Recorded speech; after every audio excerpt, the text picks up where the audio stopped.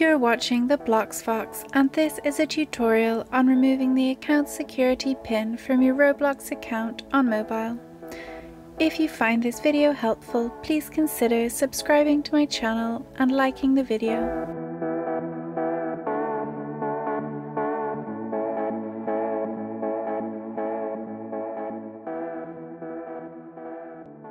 When you create a PIN, it will be needed to make any changes to the account settings. This feature prevents changing the password, email address, privacy options, and settings. Here is how you can remove your PIN so you don't have to enter it anymore. When you are on the home screen of Roblox, tap the three dots button from the bottom right. Scroll down and tap Settings. In Settings, select Security. Under the Account PIN heading, disable the toggle to turn it off.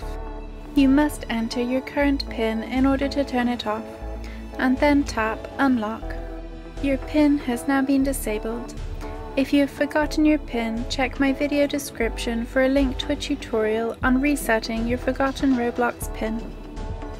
And that draws an end to this tutorial. Please like the video if you found it helpful and subscribe to the Blox Fox for more Roblox tutorials and guides.